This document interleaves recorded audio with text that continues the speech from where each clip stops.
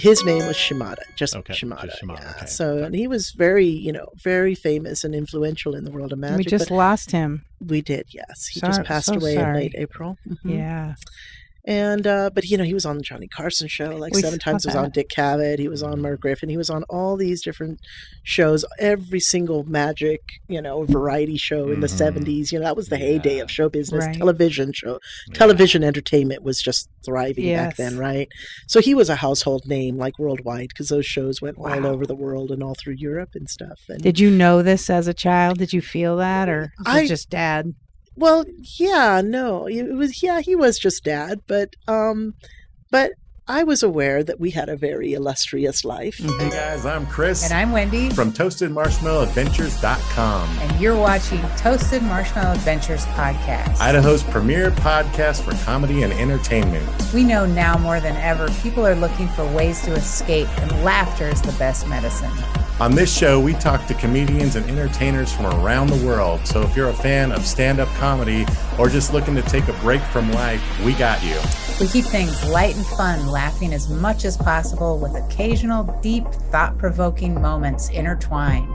So if you're in a safe space, Grab a cold one. hit the subscribe button on your favorite audio platform or YouTube.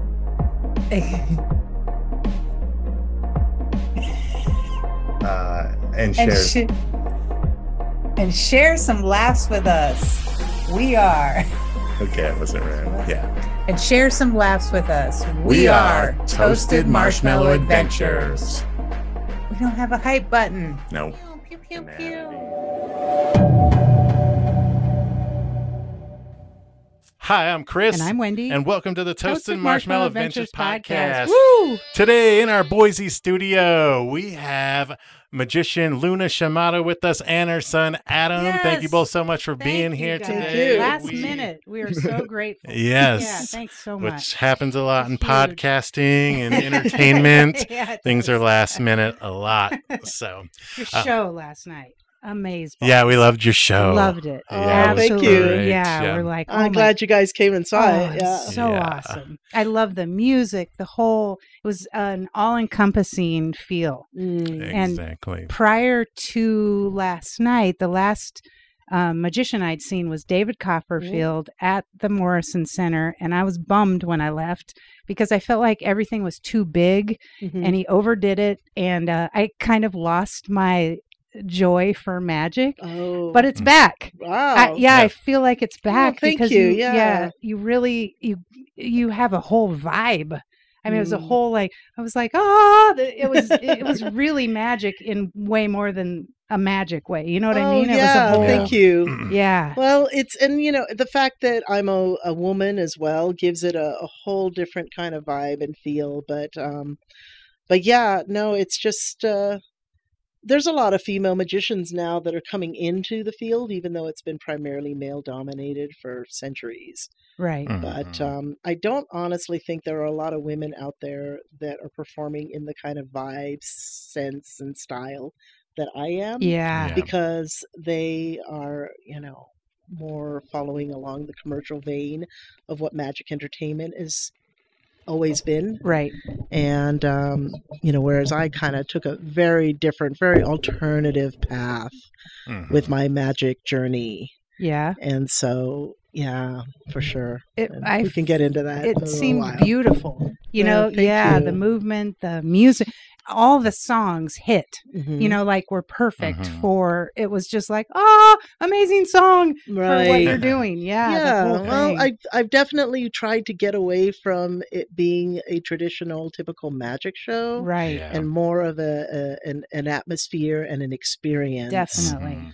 I felt that. um, you know with the combination of the stories and just where it kind of goes and you know combined with the music and the style and the artistry because yeah i i don't even really fancy myself or see myself as a performance magician anymore really but more of a performance artist Oh, nice. because I Mhm. try to bring all these different elements of music and movement and Yes. storytelling into it. Yeah. And the magic just sort of is like, you know, just an as an element Yeah. to the show, an aspect to it that sort of, you know, helps the storyline carry carry through. For but, sure. Yeah. Definitely. Yeah. When I saw, and I've been a fan of magic since I was a kid, um, I was definitely uh, excited that it wasn't just you know a magician up there like oh, do this trick do that trick Mhm. yeah the whole performance of it really made it cool for me and seeing as someone who's seen a lot of magic shows in a lifetime so it was something different Good. and really enjoyed it Yeah. Is that Yeah, where you cool. came up with the entertainment? Is yeah, that the word?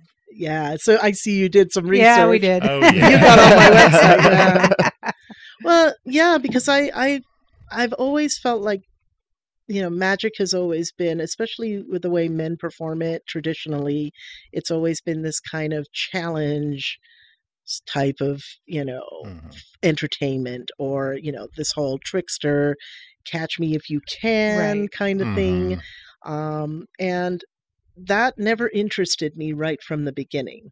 Right from the Mhm. beginning, um, I just felt I didn't like the deceptive aspect of it. I also didn't like the way it made people feel stupid or intellectually challenged, Right. right? And I Mhm. really tried hard to create a show that would help the audience get away from the how did she do it kind of mentality hmm and Mhm. more into the, the the experience of you know wow and that's interesting and that gives me something to think about and uh you know and just really wanted them to feel sort of the the mystical aspect of it Oh, you you hit it. Yeah. Yeah. because Mhm. magic is mystical and here's the thing i got to a certain point when i was a young girl where i said well magic tricks are kind of dumb and silly and Mhm. all about you know power over you know i'm smarter than you i Yeah. can do this you know you try to try to catch me if you Mhm. can kind of thing and it just it was something that a lot of young boys got into and took an interest in you know as a way to empower themselves they were usually you know the kind of boys that felt a little like socially awkward Mhm. and a little you know, nerdy or geeky, you know, and we're not jocks and we're not like part of the popular in Right. crowd. So they started learning magic tricks to sort of become more interesting and to, you know, have a power, secret power, superpower that Yeah. other people didn't have. And uh, and so it was definitely you know a tool for a lot of young boys to sort of help them build themselves up. And I think that as a girl, you know, we have different interests. We're not preoccupied with the whole ego aspect of trying to fit in and trying to prove ourselves, you know, even though with girls there's a whole like vanity aspect Yes. to it as well. Mhm. So I think that girls just don't get interested in magic until much later on and for very different reasons. I wasn't interested in magic at all. I mean, I took a mild interest in it when I was about eight and asked my dad to start teaching me.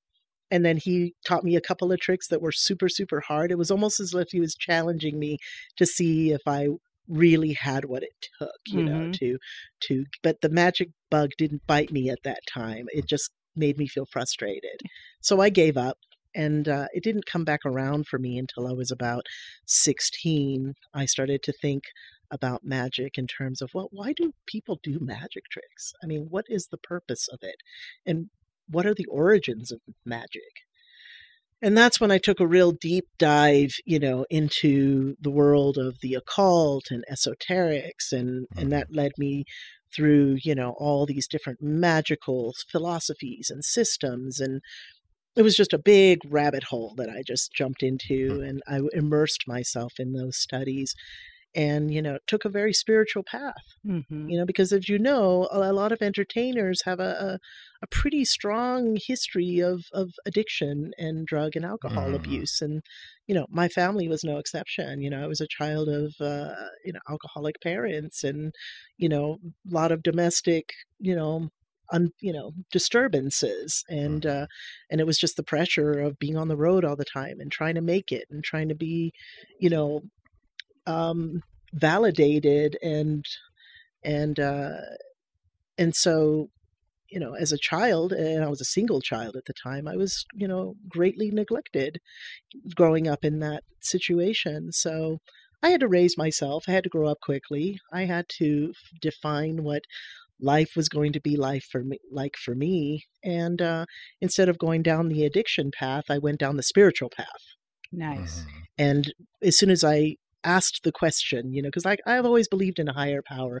I don't know if you want to call it God or Jesus or whatever that is, because I think for every person they have to define Mhm. who th- what that is for them, what that means to them, right? But for me, you know, it, the higher power was just some sort of underlying influence, something like I always felt when I would talk to myself that I was talking to something or someone was like something was listening to me you know Mhm. because i would ask for things or i would pray for things and and then it would happen like help would arrive Right. i would meet someone that would have the exact information and the exact Mhm. tools that i needed to get me through my next steps so i learned at a very early age that having that kind of faith almost a blind faith was what was needed you know Mhm. and that that guidance and that you know which i think if you remembered my last piece Mhm. was all about that is that along the way we are guided so nothing's lost only gained you know and life is a journey of happiness and pain right. right Yes.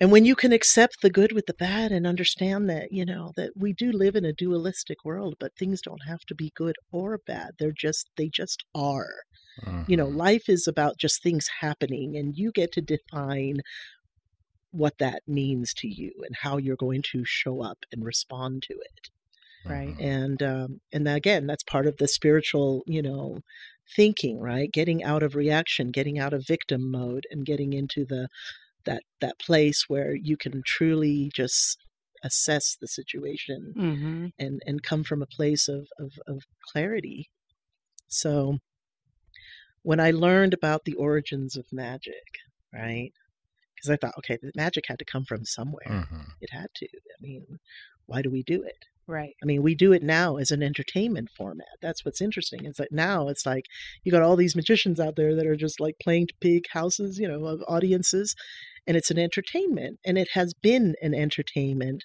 form for you know the better part of 400 500 years since the dark ages and here's why way before that time right magic was not something that was used as an entertainment. In fact, most people were not even aware that it existed. Magic was used as a way back in those times to show, to convince people that other people or certain people had superpowers. Okay. Um, Okay. How And far so- back are we talking? Okay, like uh, if you want to go really, really back to like matriarchal times and Mhm. shamanism, right? Mhm. Um, to the medicine women, the healers, Okay, gotcha. they used magic as a as a almost a placebo effect. See, they under they were intrinsically connected to the universe and to the you know Mhm. to the to the cycles and the rhythms of the earth, Yeah. right? But they also understood something about natural medicine. They understood that our body and our minds are all connected. Everything's connected. Our mind, our heart, our bodies are all Mhm. connected, right? Like like Yeah. the earth is connected to the cycles of growth and death and life and rebirth. So in order for someone who is sick, you know, like we say that someone has a disease, but what it really is is it's a dis-ease, right? Mhm. And the sickness starts in the mind and then it becomes an emotion. Oh, you know what I mean? Oh, what? I'm sick. Oh, I don't feel well. Oh, now I'm worried about being sick, right? So now the Mhm. sickness escalates. And then the body begins to get the signals from the mind and the and the and the emotions. And now the body begins to believe and it manifests the illness in the Mhm. body, right? A lot of times that's how it works. People think that the body gets sick first and then we realize it.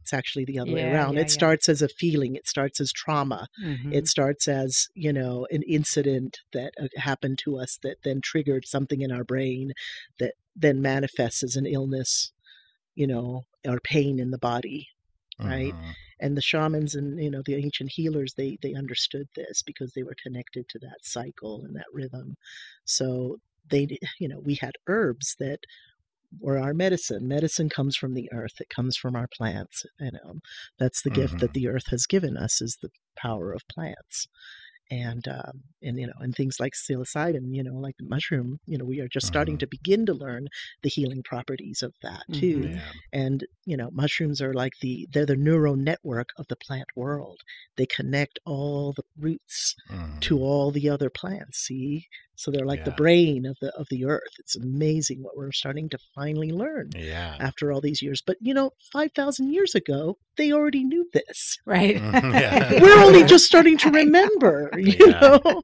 They already knew this. And so but see, we're talking about magic, real magic on a on a on a, in a in a way that we cannot understand in our present time because we're so logical and we live in a time of science where we need physical proof which Mhm. is why I said in the show there are two kinds of people, right? The ones that say I need to see it to believe it.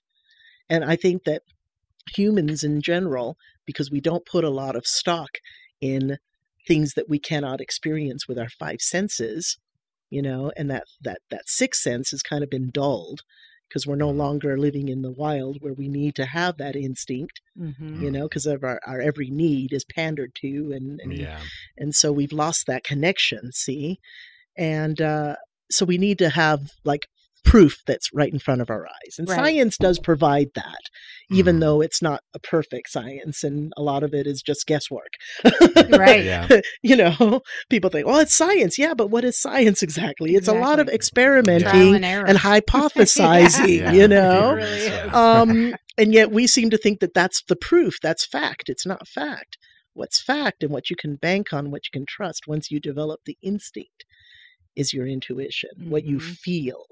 Okay. And that, and that feeling is not the same as an emotion because an emotion is just sort of based on your subjective experience. But a feeling is something that is that feeling, that gut feeling, right? Mhm. Mhm. Is something that's connected to the, the, the collective unconscious, Mhm. Mhm. right? Like danger, danger. and that gives you information, Mhm. right? And so shamans used magic as a way to create to convince the person that was sick, "Oh, I'm sick, I'm going to die, I'm going to die this disease." So they go to the he, you know, they go to the healer and the healer says, "Yes, you have poison in your body right now, but we are going to extract it from you and then you will begin to heal and everything's going to be fine." Well, how will I know if I'm going to be fine? How will I know? He says because you will see it you will feel it and you will see the healing take place. And so medicine men and women had to be smart. They had to find a way to convince a person that they could heal. And that the healing was going to come, you know, the herbs were going to be an assistance assistance to the body, give the body the nutrients it needs to begin the healing process, but the rest of the healing process has to happen in their mind. So, Mhm. how do you convince someone that they have been poisoned, right? That they are going to get better by drinking this potion, right? yeah. They need the physical proof. So, that's why, you know, someone was very smart and said, All right, well, for example, I'm just giving you a, an example. We're going to take this clear crystal stone, we're going to place it here on your stomach.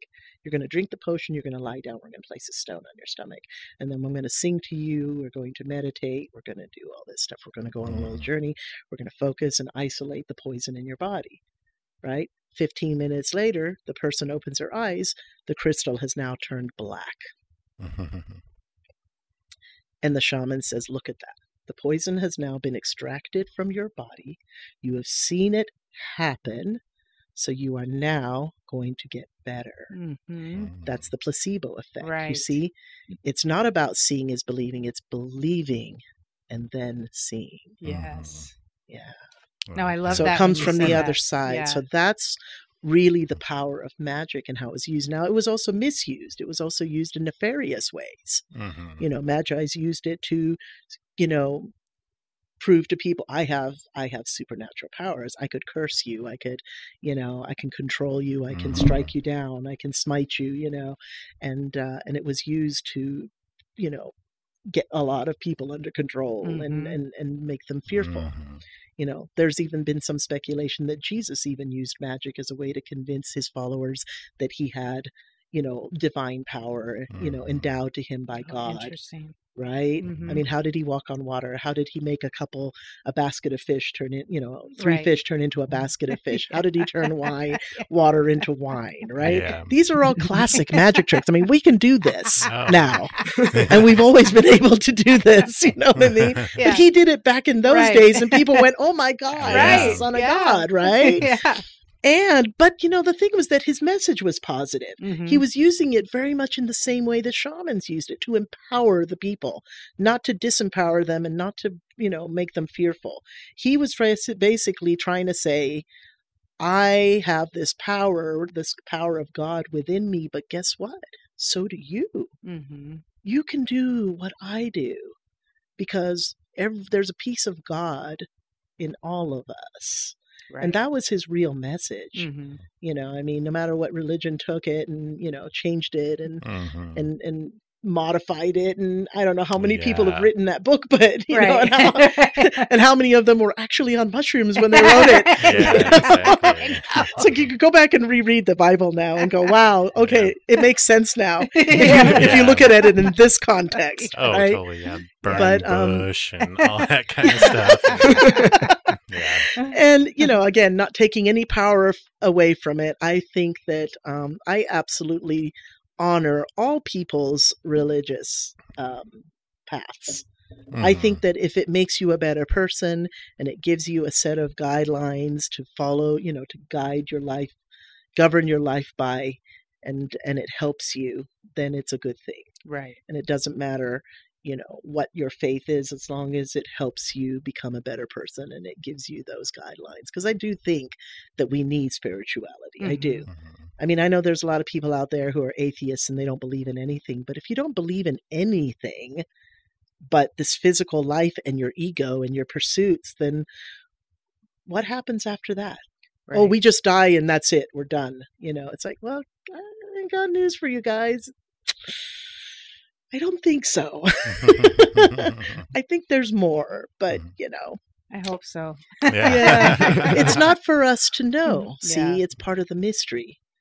And you know the mystery is is something that we have to just sort of embrace with blind faith hmm and so i'm Yeah, we have long conversations about yes. Yeah. Yeah. Yeah. We have Well, differing beliefs Yeah. in that in that realm. and that's so- okay that's you know it's it's great to talk about i Yeah. love talking to people that have different beliefs i love learning something uh, something new hmm Yeah. you know i am also very interested in another person's perspective okay so why don't you believe in something where does that come from Right. you know and they'll go oh because of this this and this i'm like okay but why oh because of this this and that. okay that's cool but why you know what I mean? And i'll just keep digging and digging until i get to the gold Yeah. you know what yes. i mean Yeah.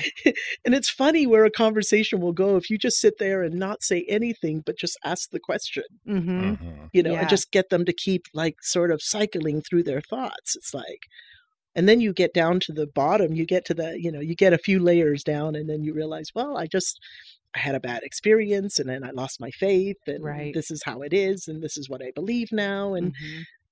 well maybe it's time to go find that faith again Yeah. it doesn't have to be religion but you know you got to find something Yeah. you got to know that every time you step outside and you look into that sky and you listen to those birds and and you see how this planet is you know this thriving and that there's there's something there Right. that is creating that Yeah. I'm all Mhm. about a- energy. Yeah. it is it is and you know and everything is energy hmm and so you know i'm not going to sit there and say there's some invisible man in the sky that makes all Right. the rules no that doesn't make sense that doesn't make sense to me I agree. although I don't, you know, I don't, I don't judge anyone that believes No. that, but, Yeah. um, but I, I definitely, you know, believe in the in the science of of quantum physics. I believe in energy, and I believe in vibration. I believe that everything in the universe is math. Right. right Mhm. it's all numbers and mathematics and geometry and uh, Yeah. you know when when you want to if you want to scale it right but um it comes down to vibrations my son and i were having a dis, uh, conversation this morning about a man named richard turner uh, who's a blind magician he's been legally Mm. blind Oh wow. his whole life since he was a child he began to lose his vision when he was in his early you know around 11 or something and um, he is he his mind I, I was talking to him a couple weeks ago and he said that his mind has been studied by neurologists and scientists all over the world. They have taken brain scans of his of his brain and he said that he has the most highly advanced neural network of almost any man on the planet. Wow. because because he because of his loss of vision and because he continued to um, excel at everything he did. I mean, this man climbs mountains. He does martial. He's a black belt martial artist. You know, he is the most amazing card uh, cardist. You know, Oh yeah, yeah. uh, Mm. performer in the world. Um, card cheat. You know, he does every. I mean, he could literally like you could just say you know fifty. You know. 23 and he'll just pick up 23 cards with his hands his sense of touch Whoa. is so highly developed Mhm. um and i said so since you can't see is you know do you do you feel vibration do you see sound waves and he goes it goes way beyond that you know his sense of his other senses are so heightened to the point where Mm. he's almost superhuman Right. so imagine that that Yeah. yeah it's like we're so dependent on our five senses but Mhm. um, I always knew the benefit of of um, that sometimes our eyes can be a real hindrance to us because we believe so much about what we see. Right. So when I u- used to practice my magic, I would blindfold myself and I would practice just performing my skills in my hands, Mm. learning where my table was, knowing that you know if I move rhythmically and it was it wasn't necessarily that I was even counting my steps it was just knowing intuitively if I move you know in this direction you know this far um, that's where my table is hmm and so if you noticed last night I almost never look at my hands when I'm Yeah. performing Mm. um, no reason to because you know you develop that spatial awareness and then the rest of it is body memory and Mm. i take away my eyesight when i practice so that i can know exactly where everything is and i don't need to Mm. see Sense it Wow. it. Yeah. yeah but life Wow. is like that too Mhm. You see so you can scale it down to what you're doing or you can expand it out into the world and just be more aware of everything that's happening around you and Mm. um, and so yeah i live you know i live my life that way like Mhm. li- magic for me is not just something i do it is a way of life Right. and it's a way of living and it's a way of being in the world it's a way of looking at things and Mm. and uh and once i learned that once i understood that that's when i was able to come back to the performance magic Mm. and realize that i had something you know yeah, worth doing Yeah. definitely. yeah and yeah so my son over here adam okay Yes, this it's Adam. another It's our generation. jam. He's here too. he Hello. is so i come from a magic legacy I- Yes, Yes. I know. my father one. my father was you know quite a, a pioneer in the world of magic Mm. and uh, he came out of japan um, and went down to australia on a magic on a variety tour and met my mother down there who was Mhm. an usher in the theater and uh, you know they got married and they she joined his act and then i was born like shortly after that so i was pretty much on the ride from the beginning Right. So did you travel with them? I did. I did. I went everywhere. So much so that you know, I I barely had any schooling. I you know, I was in Mm. and out of school my whole life. I did maybe like three years of boarding school. It was probably my most formal educational years. And then after that, you know, I, I got pulled out of school when I was about 14. I never finished high school.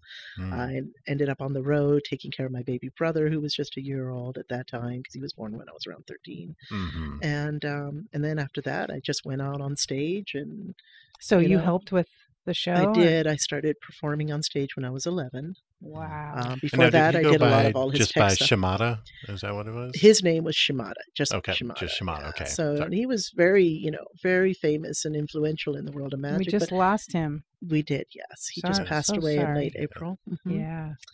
And uh, but you know, he was on the Johnny Carson show like We seven times. He was on. Dick Cavett. He was on Mhm. Merv Griffin. He was on all these different shows. Every single magic, you know, variety show in the Mhm. seventies. You know, that was the heyday of show business. Right. Television show, Yeah. television entertainment was just thriving back then, right?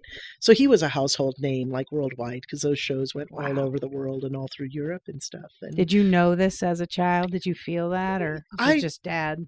Well, yeah, no, it was yeah, he was just dad, but um, but I was aware that we had a very illustrious life. Mm-hmm. Um, we lived in Hollywood, Okay. and um, he was a resident magician at the Magic Castle, and a lot of celebrities were members of the Magic Castle. People like Johnny Carson and Cary Mhm. Grant and Tony Curtis and Rock Hudson. Wow. You know, these were some heavyweights in Yeah. Hollywood at the time, and Yeah. they all hung out at the castle because, you know, no public. Mhm. They- and they all loved magic. They were all fans of magic, and they were all fans of my dad.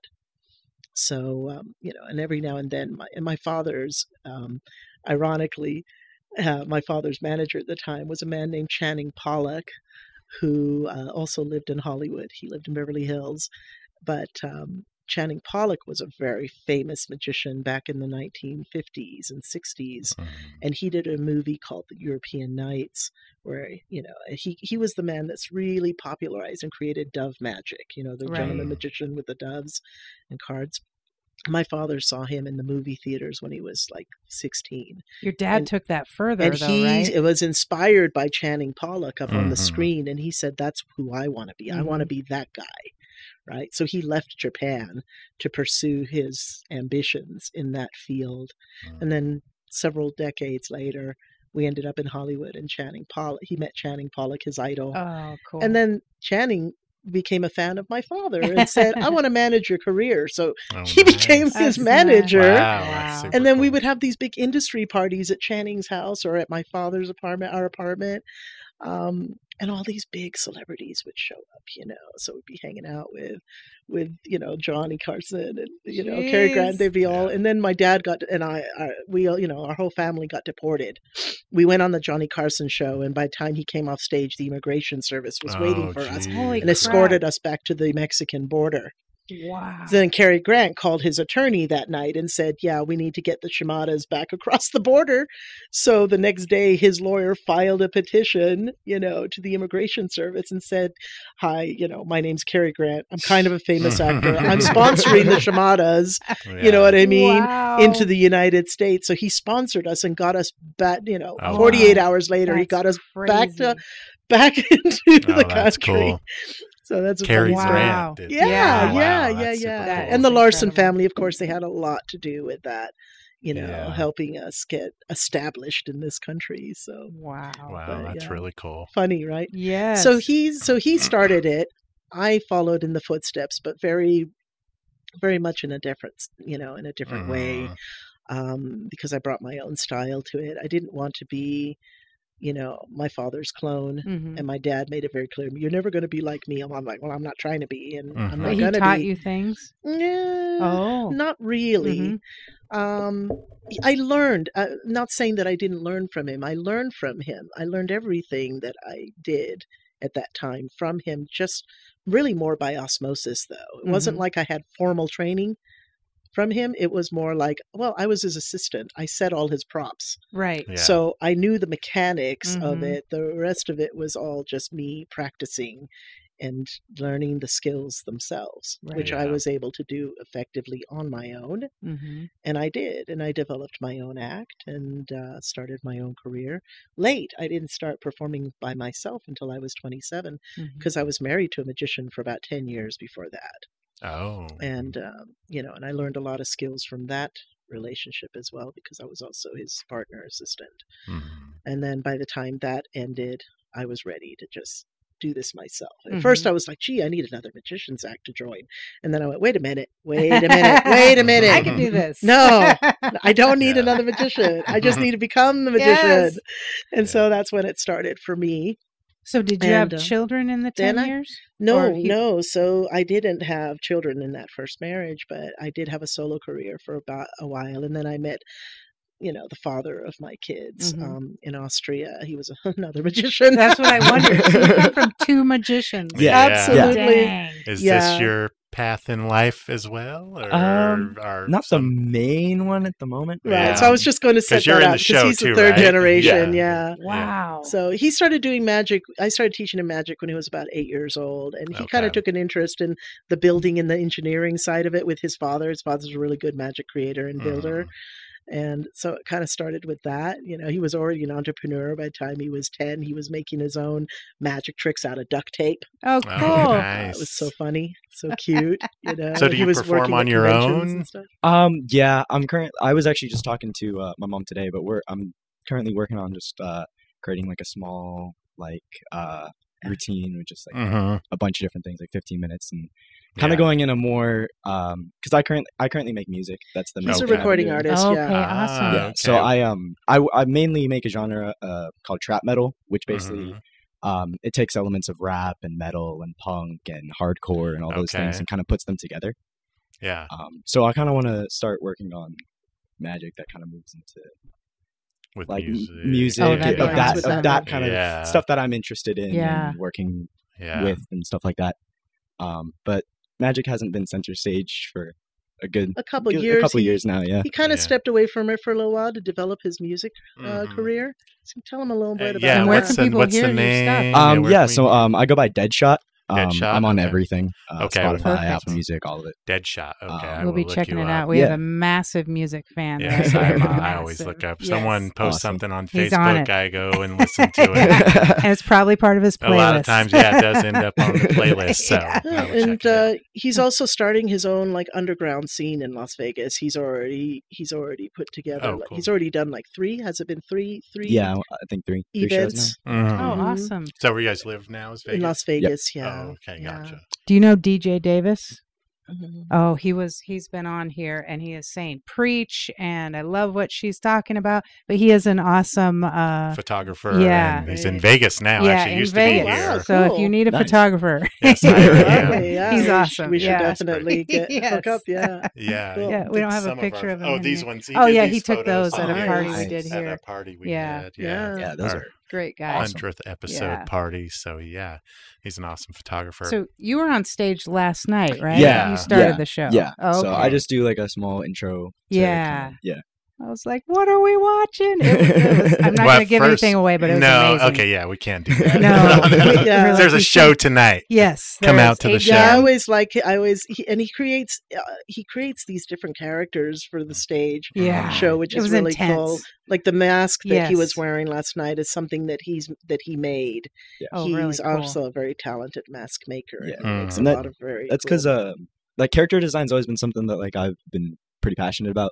Uh, Mhm. that's why I enjoy like like English so much. I love writing stories and Mhm. creating characters. So yeah. um, for a minute there, um, and still now, I, I got into like mask making and stuff because Mhm. I wanted to take like characters I was drawing and creating and just kind of developing in my own brain and Mhm. actually bring them. to life. to life. ish? Oh, Um, awesome. And the best way to do that was with masks. You know, Yeah. it really it kind of takes your face away and creates a new character. Oh, it, and it's it- intense. Even just Yeah. putting on a mask, you can feel that character almost. Yes. And um, so I like to you know experiment stuff. The um, experimenting with making a mask and then destroying it and then rebuilding it and putting it on and see how Oh wow! it is, which is the one that I actually wore uh, Last last, night? night. last Yeah. night. Yeah. That was fantastic. Yeah, when I walked into that, uh, I was like, "Oh yeah, this is really cool." I think I was just the right amount of inebriated as well. it was awesome. I could watch this. Yeah. Oh, and we have to tell him about Christina. Oh, so the my woman you brought up on stage. Okay. and did the one trick, yeah. Yeah. Yes. So she's a former coworker of mine, Oh. actually, and so yeah, she was. You got a She was great. massive new fan. Yeah, exactly. Yeah. oh, Yeah. yeah, she was yeah, so vibrating. I didn't know she was actually going to be here when she went up on stage. I was like, I used to work with her at, a, at a psychiatric hospital Yeah. here in Boise. Yeah, so but she loved it. Yeah, she, she, was thought blown it was away. Yeah, yeah. but- She was showing us her hand. afterwards. Yeah, Yeah. Check this. Out. Yeah. I don't know how she did it. Yeah. but, it was amazing. yeah, it was great.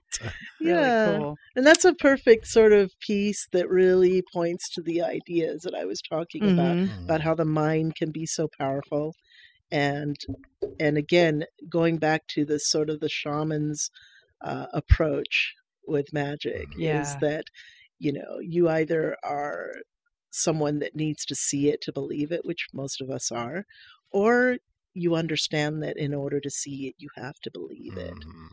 and so that was really what that piece kind of tries to bring across to the audience because we always say, "Oh, that's not that that's not uh, mystical. That's a self-fulfilling prophecy." Well, what do you think a self-fulfilling prophecy is? Right. Yeah. It's a manifestation of the mind. yeah. And what is magic? hmm But manifestation, Yeah. right? Yeah. And when you study a subject, a topic like, you know, quantum physics, you know you begin to understand that everything in the universe is made up of energy but it's all like kind of floating around out there in like waves and frequencies right and vibration Mhm.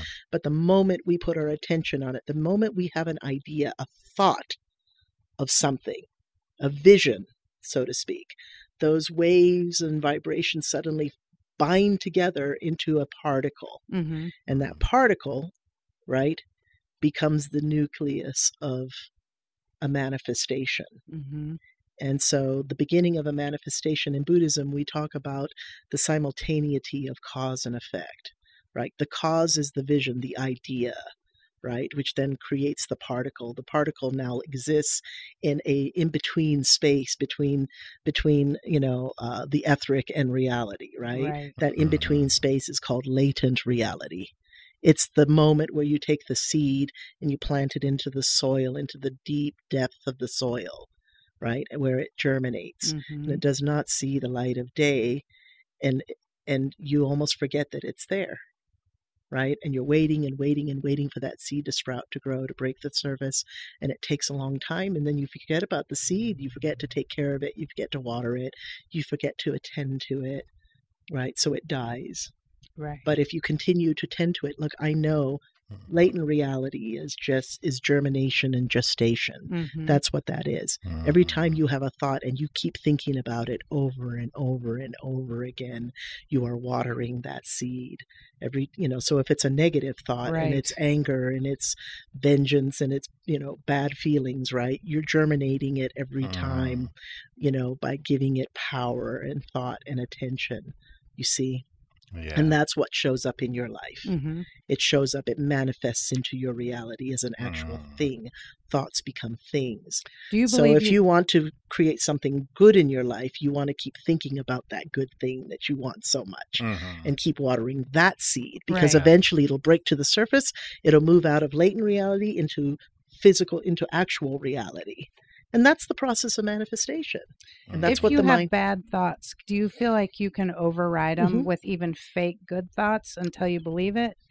Um, Because I sometimes have worries that, Oh, like yeah. bad health worries, that I notice my brain just doing, and I repeat, "I'm healthy, I'm healthy." Can that work? It does work. It Okay. does work. And that's a good thing about and, and this is why this is why in this dimension human beings are not endowed with instant results. This delayed process, this delayed reaction is is necessary in order for us to go through a period of observation and assessment. You see, that's why it's not too late to stop something from happening until it breaks that surface and it shows up in your physical world. Once Mhm. it's here in the physical, now you're going to have to deal with it in a physical way. Okay. But if it has not showed up in the physical yet, then you still have time to change your mind or change your frequency, Mhm. and that will change your outcome. But um, even when it shows up in the physical, you can still deal with it. You're just going to have to change gears and you're going to have to use different tools and modalities, perhaps right. to deal with it but you know but not all is lost right Mhm. everything is a learning experience and when you learn when you when you when you learn to le- take the lesson take away the lesson from that experience you can empower yourself to turn everything around a person can suddenly get diagnosed with stage 4 cancer right and that is years a lifetime of stress and trauma and anger and whatever they've been harboring inside that has been growing and manifesting in their body, festering in their body. Mhm. But once they get that news, oh, you have stage four cancer, you're going to die in three months. Most people are going to go into panic mode and go, oh my God, I'm going to die. And that Yeah. just reinforces the outcome. Right. Yeah. But there have been people that have actually experienced simultaneous, uh, spontaneous healing. hmm And the way that they do that is they reverse the effects of the cancer by literally reprogramming their neural network. Mhm. And there are amazing people on the planet right now, light workers, healers, that can teach you these methods. It can teach you how to do this. It's a combination of changing your diet, it's a combination of changing your lifestyle and your habits, along with your thought processes. And you can, in three months, you could completely Mhm. reverse the effects Wow. of disease Yeah. if you have the commitment and the focus to do so. hmm Yeah. I believe that as and well. that's magic. That's what yeah, we would call a miracle, but Yeah. that's Yeah. a real thing. Yeah. Yeah, and it's kind of like you know goes along the lines of like if you know like the secret and that kind Yeah. of stuff. It's kind of like Right. mind over matter type of things. Believe it, and Mm-hmm. it's it'll happen for you. Right, So- but there's a lot more secret. Yeah. The secret was a great introduction to Mhm. that kind of thinking for the general public. Yeah, I think. but so. there is a lot more that goes obviously goes into it than than that. It's more than wishful thinking. yeah, It's it's it's you know it's really committing yourself on every level, Believe mentally, me. emotionally, and physically. You know you got to commit yourself to the work, and you've got to do the schooling. Mhm. yeah, You know, and then you get Yeah. the results. Right. Exactly. Yeah. Now, Adam, how is it being parented in This is what I'm metaphors? Um, I think it's I, I like it a lot because uh, okay, yeah. the way um, the way I've been raised is it's cool because um, censorship was never a thing, oh, good. Oh, you know. So I was uh, Or groundings yeah. or punishment. wow. yeah. So it was always kind of I just, just like did away with all that. Yeah. Oh, yeah, it was always just like these are lessons, these are things I'm going to teach you. Um, it's okay to make mistakes, and if you do, Mhm. you're not going to get punished. You just kind of got to look at it and learn it. So Yeah.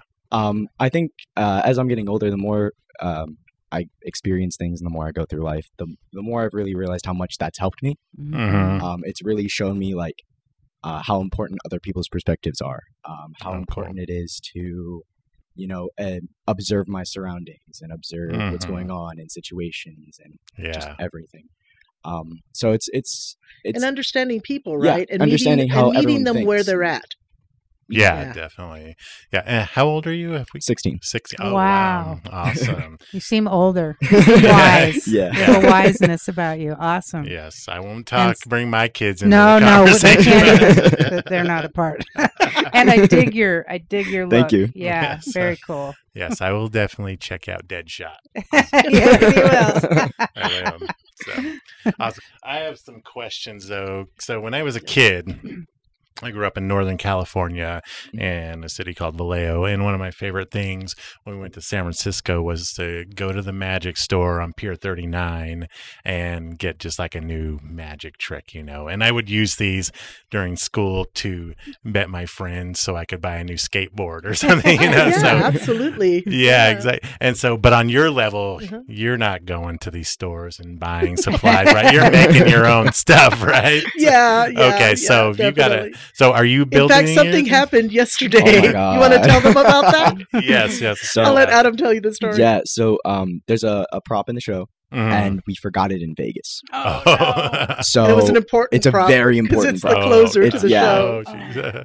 um, so we we get there, and it's about I want to say what like Five hours five to showtime. five or six hours before showtime, Mhm. and we're backstage, and my mom just looks at me and she goes, "We forgot something," Oh, and I was like, "What did we forget?" And then she told me, and we were just like, "Oh no." So then Hmm. immediately she just starts making a new one. So then Jen Yeah. was like, "Well, what do you need? You know, can you, you know?" Because Yeah. she's like, "Well, what are you going to need to?" Because it was the it was the thing that I produced the silks out of to produce Jonah, which is the final of my show. Yeah. Right. uh-huh. this was kind of a kind of a was kind of an important prop. So Mm-hmm. I'm sitting there and I'm thinking, okay, how am I going to restructure the show and what am I going to, you know, how am I going to Yeah. do this? That was the first thing I was thinking. But then Jen was like, "Well, we have stuff here. You know, what do Mhm. you need?" And I said, "Well, I'm going to need some cardboard. I'm going to need some tape. I'm going to need." You know, uh, a box cutter. Uh, she goes, I have all that stuff Yep. here. I have all of it here. It's all here Yeah. and she took me down to the workshop and you know we got some poster boards and we got Oh, some tape and i'm like okay we're building a new one and i Oh, no. literally in like two hours constructed a completely brand new prop Oh, which was the fan that you saw Okay. Last night, remember the big fan? Yeah, yeah, yeah. okay so that fan i made that in two hours Oh, wow. Wow. and then he did the, you know and because he he he's um It was painted, right? Or was it Yeah, he- black and white. Is that the one we're talking? yes, Yeah, exactly Okay. Okay. Yeah. so because he he majors in high school in in video game design and Oh, development wow. Okay. So But part of- this. part of his major is art like he's Uh-huh. got to learn how he Yeah, knows how to draw It covers Mhm. animation and coding Oh, and designing and all that. So So I'm just like, and I can't draw for, I can't draw to save my life. So I, I've, I had this fan, you know, that I was holding, and I'm like, okay, we need a fan, but like, we need this. I said to him, but like, you know, three times bigger.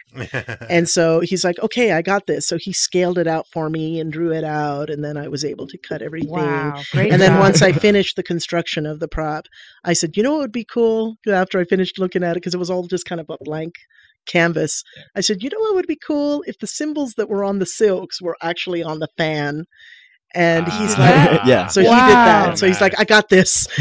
so literally, like two hours Yeah. before the show, he's drawing a yin and yang, and he's drawing the. Oh, Wow, that was impressive. so we literally. Wow. So yeah. So does that Did answer your show up. question? Yeah. Yeah, exactly. So you built Everything shit. that you see on stage was all self-constructed. Oh, Yeah, cool. Yeah. yeah. Is there a secret magic place? Haven't we heard so that? I've I've Chris has talked I've watched this. um some documentaries and maybe it might be the um magic castle you're speaking of in Hollywood okay. but it's not open to the public it's basically magicians perform and Mhm. from what I remember from this documentary is they're basically magicians some of them that don't even perform for the public they just perform for other magicians Mhm. Uh, is that a place There's a lot of places like that all over the world. In fact, every country you know, every city has a magic club, okay right? There are three, well, probably more than three, but th- the three most well-known magic organizations is the International Brotherhood Oh, of Magicians. They need to Mm, change that pretty yeah. soon.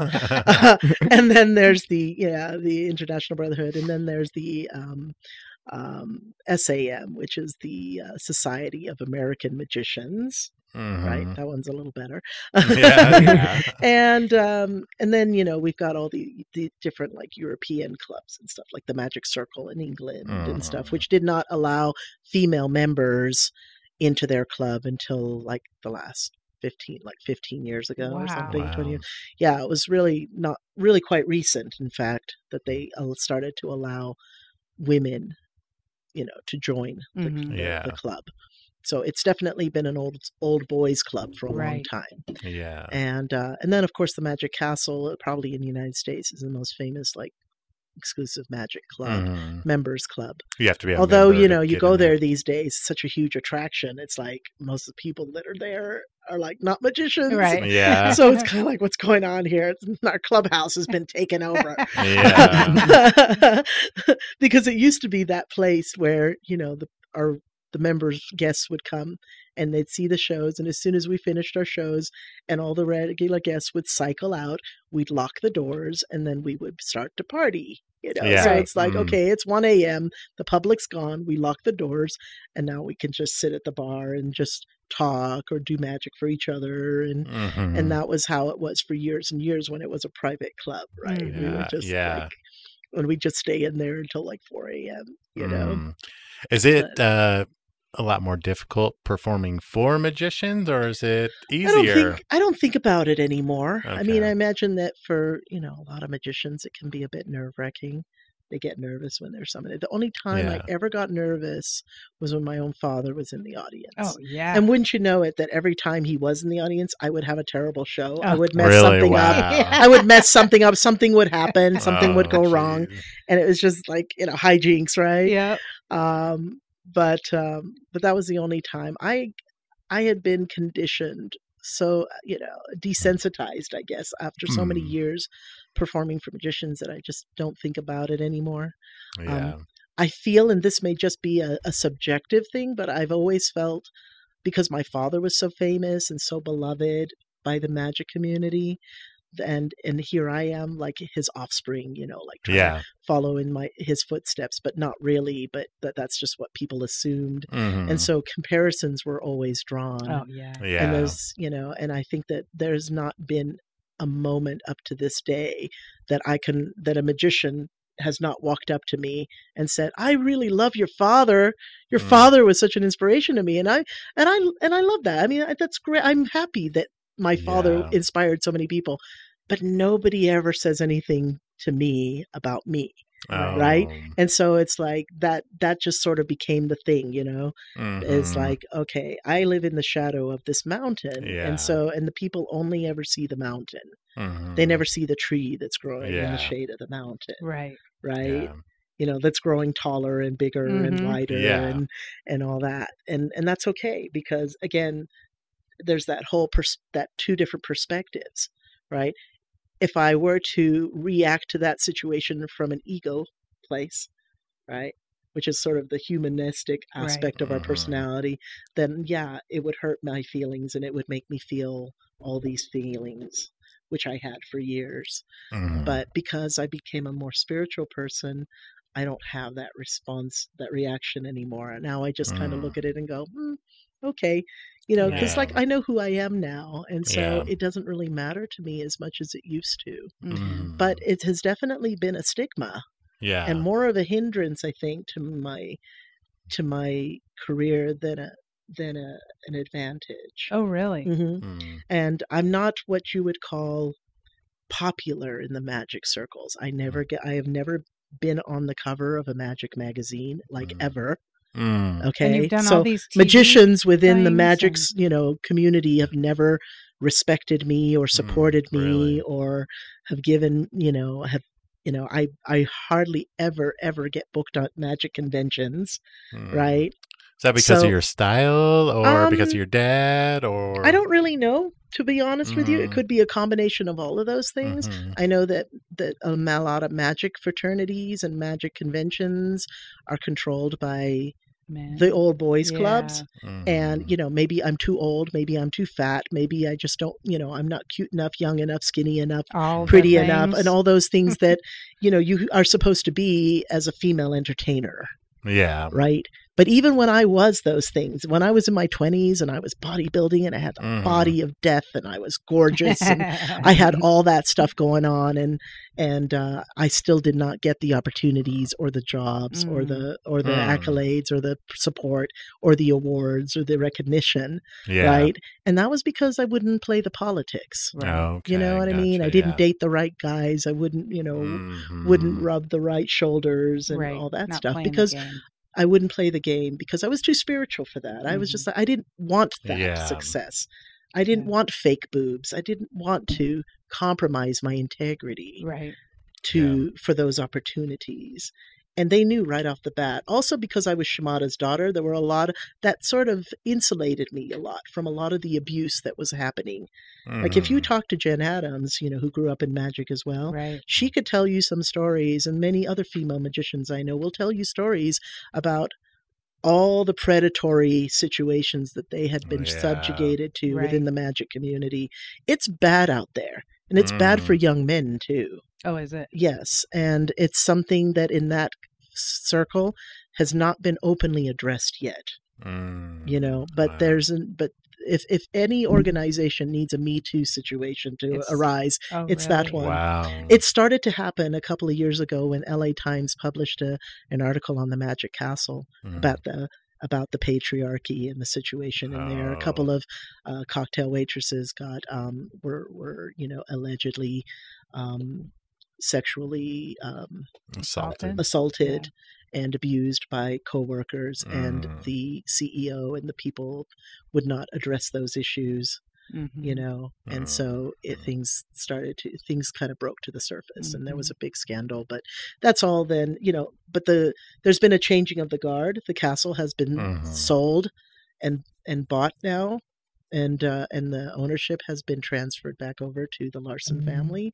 who were the original founders Mhm. so there's a whole you know the the entire organization has is has been getting re restructured now and all the, and the Oh. person in charge of all that is a woman is the Oh, daughter nice. is the good. daughter Good, good. you know so she's you know she's definitely you know cleaned up a lot of messes Mhm. and is making taking steps to ensure that you know that we have a healthy environment to work in moving forward Yeah, So- safe. Yeah, Yeah. definitely. Did- Did uh COVID um just kill all your shows during those year or two? well um not for me because i'm you know i've i've never been a gig performer Mm-hmm. so i wasn't really gigging i was really working from home a lot Okay. uh, i have a private theater in my house What? oh, wow. So I was doing a lot of private shows in my home. I was doing uh, my magic school was there, so I was doing a lot of magic classes. Mhm. I also do a lot of consulting, personal consulting, and personal uh, mentoring to other professional Mm. magicians. So you know, professional magicians come to my studio or my theater, and I train them. Mhm. So I was, you know, I have been, uh, you know, working at home for for many years now already because I was a single mom for more than ten years. You know, um, when my husband and I broke up, um, my children were very young. Adam was only five, and my da- youngest was three. My oldest was eight, so Mhm. I had to be a stay-at-home mom. I Mm. had to figure out how to. I couldn't have a career on the road anymore. I couldn't go Mhm. out. I couldn't leave town and go and do gigs or long contracts out of out of town. Mhm. I couldn't be here. You know, I couldn't do things like this because I had to stay home and raise my family. Right. So I had to figure out how to work from home. And so Mm-hmm. that's what I did. I created, you know, a school in my house, and Oh, I cool. created a studio where I, and I did a lot of private shows as well. You know. And very underground kind of like old, like they did in the 1800s. You know, Yeah. the old parlor shows. Is any of this online Which a lot of that happened anywhere, in- or is this a lot of uh, that happened, you know, in uh, uh, Yeah. in people's private homes back in the days. Yeah. mhm. So that was kind of a cool thing, and that's what I wanted to sort of revive. And Yeah.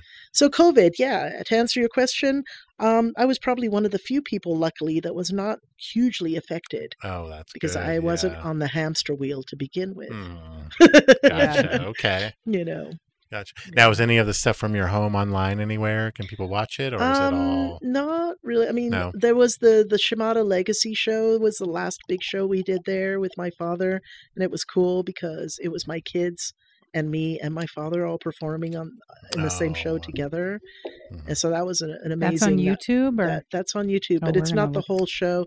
I should post the whole show, I guess, Oh, eventually. awesome. Yeah. But right now, there's just like a little clip on there Cool. that you can check out. And he was sort of like the star of the show because it was really, yeah, because it was really about him discovering, you know, discovering magic, and it's a, it was a Mm. very cool concept because it was sort of an interdimensional, Mm, you know, where he stumbled into this like interdimensional place yeah. where he encounters a witch and a wizard, and he begins to awaken to his own innate powers. Mm, Yeah. okay. cool. I'll Take a look at that. Yeah, post the whole thing. I'll watch it. now yeah. we got to get out of here soon, but how did you meet Jen? Was that through magic? It was okay. yeah. and did you um, know Jen's dad? I didn't that- know her. oh, okay. No, her father had unfortunately already passed away Okay. before I met her. Um, but it was shortly after. Um, I moved to New York um, because I was uh, working with a, another magician at the time uh, named Jeff McBride, and he was uh, located in New York. So I moved to New York, and he she was part of his like mystery school group, you know, ma- magic group. Mm-hmm. So Mm. I, I met her through him and his In like of your friends. twenties or Yes, I was about 28 oh, cool. at the time, and she was 20. So, yeah, we were about seven, eight years apart. So she was just a young thing, you know. but we hit it off like yeah. right right off the bat. We hit it off, and um, we became very, very, you know, Oh, very close great. friends. And um, yeah, and then we moved out to Las Vegas together because I came from Vegas and I went to New York, but then things didn't work out in New York, so I ended up going back to Vegas, and she ended up coming back to Vegas with me. Um, she wanted to get out of New York too, and um, and then you know after that we kind of just went our separate ways because she she kind of went in one direction, I went off in another direction, Mhm. and um, and then I went to Europe and just started touring all over Europe and got on cruise ships. So we just kind of Mhm. lost touch with each other Yeah. over the years. Um, she kind of, Mm. I mean, we were always there in the background, but she kind of drifted and came out here, and I went in another direction, and and then I don't know. It's like life. This is very typical with me. I have lifelong friends, right. Mhm. but I will sometimes lose touch with them, like Mhm. physical touch with them, for years and years and years. But they're always there, like, Right. Like the connection never goes away. It's it's like an invisible cord that just connects Yeah. you to these people, and you're right? back when you see them. and him. so it's like you know things cycle back around and i Mhm. just feel like jen and i sort of came back together this past year you know for a reason you know we both we've both had we both raised children you know we're both in very similar situations our life really mirrors each other a lot in a lot of areas Mhm. and uh, we're both very similar type women you know we're Mhm. we're strong and tough, yeah. we're Yeah. strong tough and you know know how to just you know focus and Yep. get through things and that's something i think that we both respect and admire about each other and um it's some it's it's a difficult way to be in this day and age in this kind of time where this cancel culture where everyone's so overly sensitive about Mhm. everything and yeah, right. It's so bad. It's rough. It's Yeah. rough.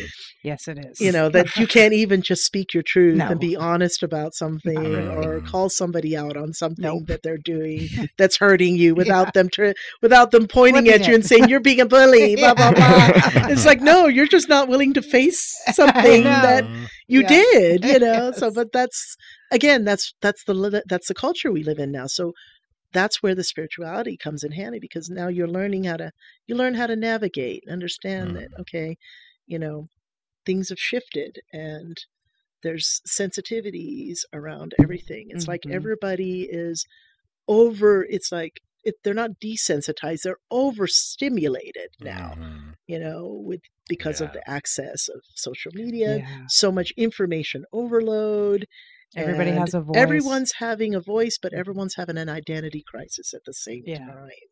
So if you if you if you learn to be sensitive about that, then you know you can just kind of go, okay. Mhm. Truth may not be the safest way to to approach uh, beings that are you know e- emotional. Yeah. So Yeah. you have to find another way around that Yeah, find another way to reach people and Yes. that's what i try to do every day i try to think about how can i reach people in a in a in a in a safe and in a safe way that you know that addresses Mhm. their needs right um yeah. and is not triggering but at the same time gets the message through you know Mhm. because that's what we got to do we got to get around these we got to navigate around these walls you know Mhm. And get the information to them you know because like hey i'm here to help you Right. Yeah. Yeah. but you can't do it by by knocking down their wall because then they're just going to be like ah you know so you got to do it in a gentle way you got to Yeah. find a Mhm. you got to find a, a very accurate but very effective delivery system Mhm. Yes. Yeah. I have three more questions geez. real quick.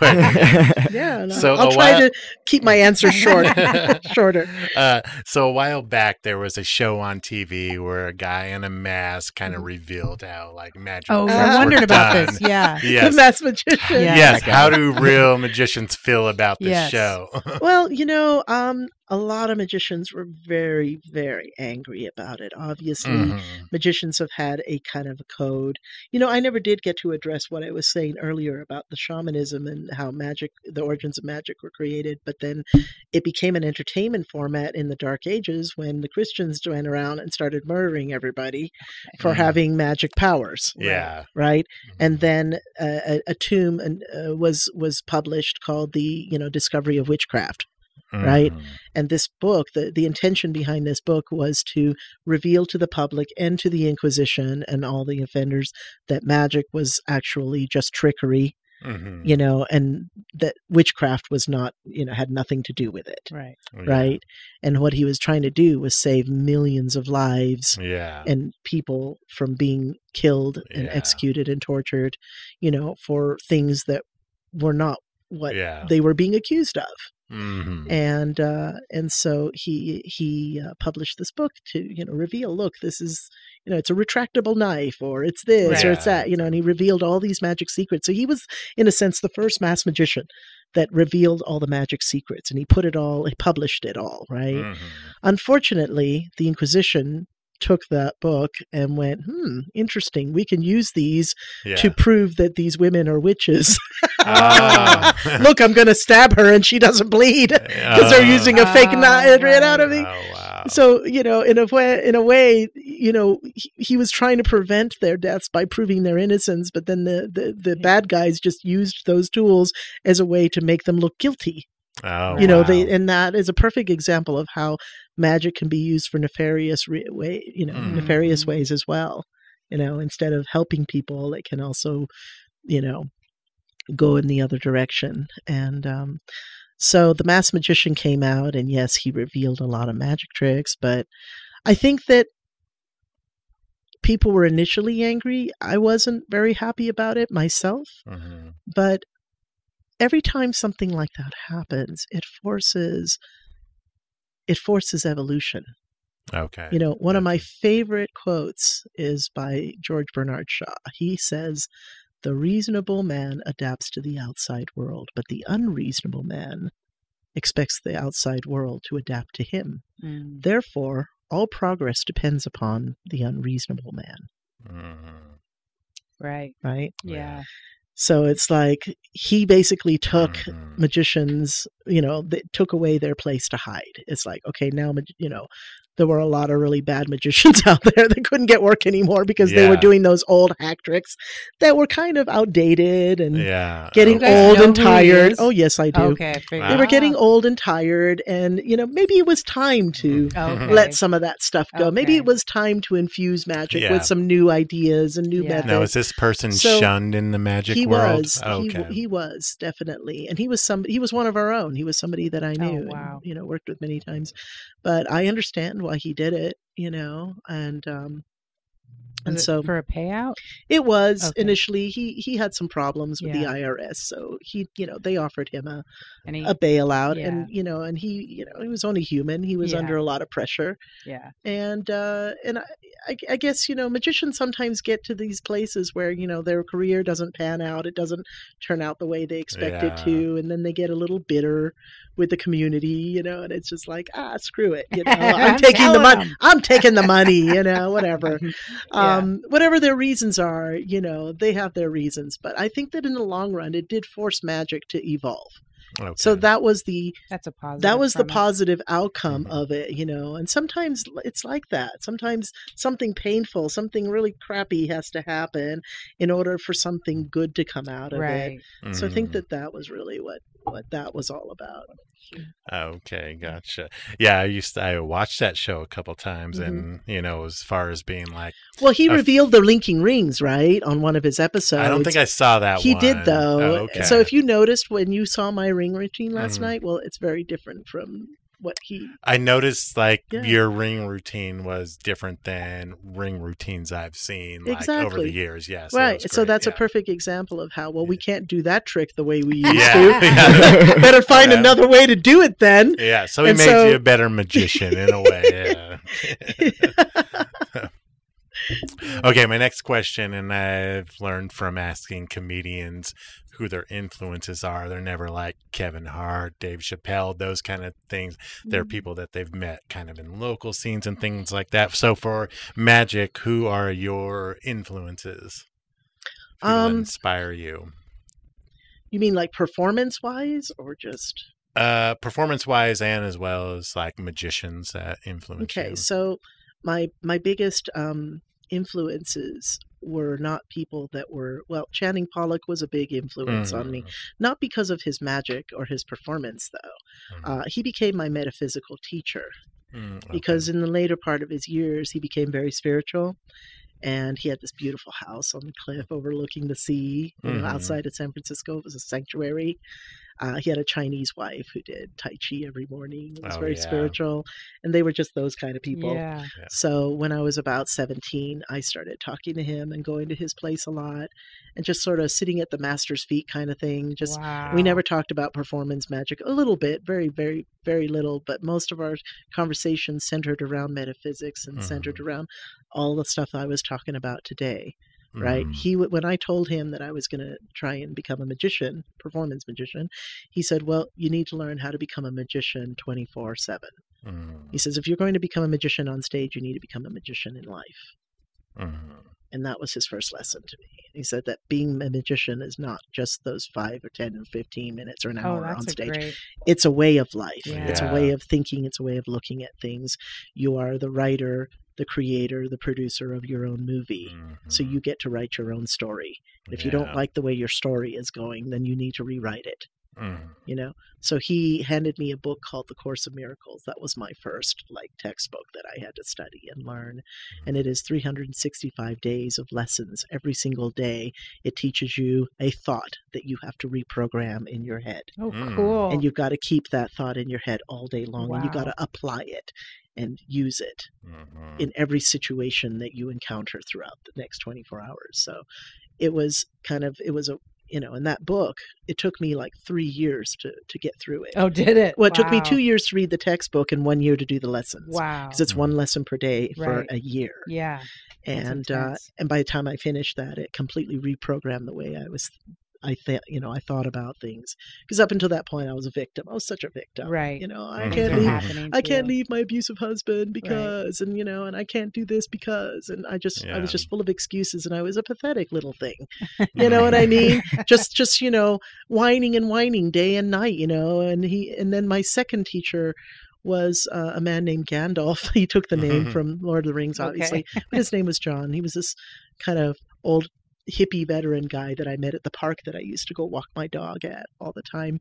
Very cool dude Mm. you know used to sit on the bench with him every day smoke a joint and he would start telling me about the stars and astrology and things but then as i got to know him better we got the lessons became deeper and deeper and he was a wizard like a true wizard like he knew everything about the occult and about esoterics and wow. about the universe and Yeah. I learned so much from him, you know, and he was also someone that said, Do you know what you look like? When I came to him one day just complaining about my life and everything, he's like, I'll show you. And he stood up and he put his foot on one on the floor and then he started walking in circles. Oh no. He says, You look like a person with one foot nailed to the floor. Oh, no. he's like, just pull out the nail, you know? and so it's like, you know, I've had some great teachers. So those two, you know, so yeah, John Gandalf, you know, or John Pfeiffer, um, Channing Pollock were both, you know, very instrumental in helping me become the person I am today. Um, as far as magician influences, um, Richiardi was an illusionist from South America. He died many, many years ago in the 80s, but um, I saw him when I was about eight years old. Uh, he was working at the Olympia Theater in Paris with my father in a show, and he was just a phenomenal performer. Like I'd never ever in my life saw a performer that made my heart beat so hard in my Mhm. chest. You know, because his energy was so dynamic. He was so powerful on stage, and uh, you know the adrenaline that that you would feel just watching his performance. Mhm. Uh, he was very dark, you know. He did a buzzsaw illusion where he literally cut a woman in half with a buzzsaw, and her guts and blood went flying everywhere. He basically killed a human being on stage, and then invited the audience to come up stage and look at it up close Oh, Wow. to verify that it was all real. Wow. And then the curtain closed, and that was it. No, there was no resurrection. Oh You know what I mean? He would float a woman up into the rafters of the theater, and then that was it. She's gone. She ain't coming back, folks. You know what I mean? Wow. Um, the the trick that I did in my show last night with the with the orange, the lemon, the egg, and the bird. Oh, that She one we've been talking that. about. So Yeah, that we was the piece that I saw him. Per- he was the magician that I saw perform that piece for the that was first time. incredible. That that illusion, and that was his like levity piece. That was his that was his happy piece Mhm. in the show that he did, and it was you know, and it was very humorous the way he did Yeah. it, and it was really great. Um, but what I loved about it was that up until that point. Every magician I watched was very proppy. They all had these special magic props, you know. Mhm. Mhm. But he came out on stage with three paper bag, four paper bags, and four Mhm. objects: a bird, a lemon, an egg, and an orange. And he did this amazing magic, you know, where he just Mhm. vanished each object, and then they all appeared inside each other. And then in the end, he had the bird, the egg that he cracked, and the bird came out. It was like, that now that is seriously impossible. Yeah. seriously Yeah. impossible. And I snuck into his dressing room after the show and dug through his trash. Oh, did you? I did. and I found the orange and the lemon peelings and everything. And I was like, okay, it's real fruit, guys. This is Yeah. Ridiculous. How the heck did Oh, you do this? No kidding. and it was a real bird, you know. So it was like that piece was probably the closest thing I ever came to experiencing that awe and that mystery of magic. So I'm so glad you stayed brought with that me. up. it stayed with me my whole life. And when I when I put my first act together, that was the first thing that went into my show. Yeah. Mhm. So, you know, Richiardi, he was kind of a bastard of a person, honestly, but he was an incredible performer Wow. and artist. Yeah. Artist. So I will give him kudos for, you know, for being just uh, an amazing performer. Yeah. That, was, was incredible. That was one of our favorite Yeah. tricks Because- last night. yeah. During the show, I was like, "That orange is fake," and then you peeled it, and I was like, "That orange is real." No, it's real. It's Yeah. real. And I could even throw the peelings into the audience Yeah. to prove it. Un- Yeah. Yeah. Unbelievable. Yeah. That and the uh, the fire that turned into the ball that Yeah. you rolled This year, around. It yeah. was. I was like, I certainly hope this ends with fire, and it did. It was awesome. yeah, it was really awesome. Thank you. The whole Yeah. thing. Yeah. Now coming now we mostly interview comedians and some comedians Mhm. hate certain certain types of comedy Mhm. like some people hate one-liners, some people don't like storytellers. Is there a type of magic you despise? Hmm. And then what do you love? Yeah. I I, I don't know if there's any type of magic. Oh, we got a dog that does that all the time. I don't know what's going on. It's like 3 a.m. Like, oh shit, we got to let him out. Yeah. He's about to puke. I don't think there's any particular type of magic per se that I don't like. Um, you know, I evaluate ma- I evaluate the magic that I see based on the performer and how they present it. Okay. And um, I, I think for a long time I didn't like close up magic. hmm You know, being a stage perf- performer, a stage magician, um, there was a very there was a hard line between close up magicians and stage magicians, right? And they didn't like each other Mm. you know Oh, yeah. yeah for some reason they just you know they didn't really mix right but now that's all different because those everything is all one thing now that boundary is like disappeared uh, it's blurred away um, i think the reason that i found close-up magic tedious is because it just it's mostly card tricks it's a Mhm. lot of card tricks. In Yeah. fact, even now, if you watch a close-up magician, it's it's about ninety percent cards and Mhm. ten percent other stuff. Yeah. you know, Yeah. and it's it's also very cerebral and you got to kind of really concentrate and you got to keep track okay where's the card oh it's here it's in my pocket now it's here now it's there oh it's back at the top of the deck again but i'm going to put it back in the middle but now it's back on the top again oh now it's over here under this car under this you know under this and now it's over and it's just like it's it after about 15 minutes of that it starts to feel Yeah. really tedious for me well, even when they use other objects, is it just basically like cards? it's sleight of hand basically the same yeah, thing. Yeah, it's okay. Now we're doing yeah. it with coins. Now we're Yeah, doing it with exactly. sponge balls. Now we're doing it. Yeah, and and you'll see a lot of that in magic, even with stage acts. I I used to call it the diminish and return approach. Mhm. You know, Yeah. and it's it's it's like repetitive. But you know, back in the seventies, the thing that was really popular was like these theme acts, like Mhm. magic acts. You know, especially stage acts had like themes.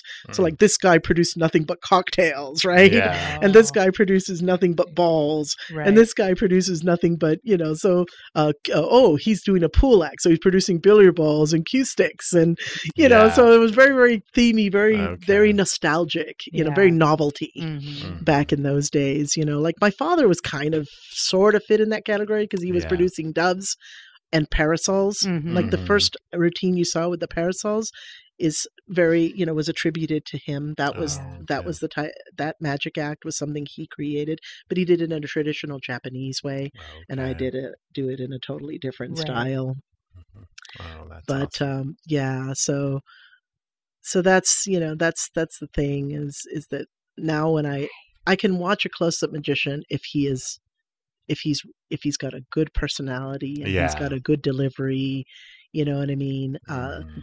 there are thousands upon thousands upon thousands of great magicians with great skills. So skills Mm-hmm. are not something that I necessarily evaluate a Mm. magician on. yeah. You know, what I evaluate on is is is is engagement hmm and you know how you know how how interesting are you? Right. How interesting are you? Yeah. Because if I don't find the person interesting, I'm not going to really find their magic that Right. interesting either. Okay. if that makes sense. Yeah, no, I get it. Yeah, no, you held us last night through the whole Yeah. thing. Oh, your And dog's so cute. You've lost your dog. The dog that we thought was a monkey. Yeah. I did- Yeah, last night I was like, is that, that a you- monkey? now that I look at it, he does kind of have A a, bit of a bit, monkey yeah, look like to I was him. like, little bit. What are those long big haired dog. ones? yeah, he's kind of got a little bit of a Yeah. kind of a capuchin thing going on. Yeah. Yeah. He's cute. Mm, we are so grateful that you guys came to the lounge and Yeah. And you're on our podcast here. Yes, thank you so you Oh, much. thank you for having me. the time. It's been fun. I've been ever since I've been here. Let's see, I've done a show. I've done two radio stations. oh, Oh, awesome, yes. Nice. I feel so productive. yeah, yeah, exactly. Sh- another show tonight at eight. yeah. Now, where can people that are fans of magic, like, what's mm. the best place for them to go watch something? Awesome? I have a residency at a venue in Las Vegas called the Las Vegas Magic Theater. You can find them on Instagram and Facebook. Okay. Um, I'm not there every single night. The resident magician is Losander. He's the owner of the venue. Mhm. So right now it's just him and me performing, but I usually come in maybe a couple times a week. I also can do performances there upon request. So if people want to go book tickets there, I think it. What is the website? It is five stars Fivestarshows.com or something five like that. fivestarshows.com, I Okay. believe. But if you just look up or Google Las Vegas Magic Theater, they're on TripAdvisor, Eventbrite, Okay. Viator, all of the Yeah. ticket brokers and stuff. Cool. Mhm. Uh, they sell tickets on there. And you can book a show. You can book a show and come and see me there if you're Oh, in Las cool. Vegas. You can also follow me on, you know, Luna Shimada 66 on Instagram, Mhm. Luna Shimada on Facebook, although I'm really, really not very good at at moderating professional pages because I tend to be too personal with Yeah, that stuff. Yeah. So it's like, okay, you can follow me on Instagram, but you're going to see a lot of pictures of my dogs, and Right. maybe Yeah. my Yeah, horse. We're the same. You know, here's a picture of me with my horse today, and then here's another picture of me, you know, having my morning I think coffee people love that. and you know so it's like i use my social media as a kind of a window into my life into my world Yeah. like what i call my personal lunaverse right. Okay. Luniverse. i am also a poet and a spoken word artist so um Oh, in fact if you don't mind No, No, go for it. um since we are talking about social media i would love to share one of my spoken word pieces Oh, with yeah, you definitely. if you're open to Yes. that Mhm. because it kind of sums up what I'm talking about in regards to social media. Are you down? Yeah, yeah, wanna for hear it? sure. definitely. Yes. All right, let me pull that up right here. Okay. And people can find you everywhere. Um, yeah. yeah, I, so- and then, oh yeah, Uh, go yeah, ahead. so my music's on everything. Uh, it's Deadshot, all capitals. Um, and then uh, D E A D. uh, yeah, D E A D S H O T. Awesome. Um, Mhm. if you want to be specific, the O is a Nordic O, the Okay. one with the line in it. So Okay. that makes it a little easier, maybe. I don't know. Yeah. yeah, it does. um, but yeah, and then on, on Instagram? yeah, I'm on Oh, we'll Instagram at uh, Kill 'em Deadshot. you. Okay, cool. Dead shot. Okay. Yep, and then Yes. YouTube, everything. Nice. Sweet. Yeah, we'll check you out. All right. So you ready? Yeah. Yes. Here are some thoughts from the Luniverse. Okay. I just had a realization. I am a total social media whore. I Facebook, I Instagram, I Messenger, I selfie a lot more than I should. I upload daily, I overshare. I text and I FaceTime and I Skype and I Zoom. I podcast Yeah. and I Audible. I Netflix and I Prime, I Hulu and HBO. Well, add Disney Plus and Showtime too. Mhm. I scroll and I share and I copy and I paste. I block and I ghost. I shop and I buy. I Etsy and I scry. I Google and Wiki. I sext for a quickie. I'm passive and aggressive, submissive and possessive. I filter and I edit and I crop it and I send it. I am the very definition of a modern cyber, techno mystic, manic depressive. And there you have it a virtual hologram of reality. And here we are all in it together. So, welcome to right now. The future is now the present. Thank you, mm-hmm. and I bow. Wow. Oh, that's awesome. That's good. so Yeah. much. Yeah. that is today. That- yeah. it really That's- is. Yeah, our reality. yeah, it really is. Almost every day we're like, you got stories. You know, you just got to keep the Content grind going. going. yeah. I Like, keep- what have we done? You know, and every time I have some kind of deep philosophical thought, even if it's an overshare or something personal, I I put it up Yep. there. I Yeah. just I do, you Yeah. know, because that's what it is. I think that I just committed myself a long time ago to the idea of being an authentic person, Mhm. you know, and I just I really don't have anything to hide, and I do have people that like, do you really want to put that up on? So-? And I'm like, yeah, I do, yeah, because I don't care, Yeah.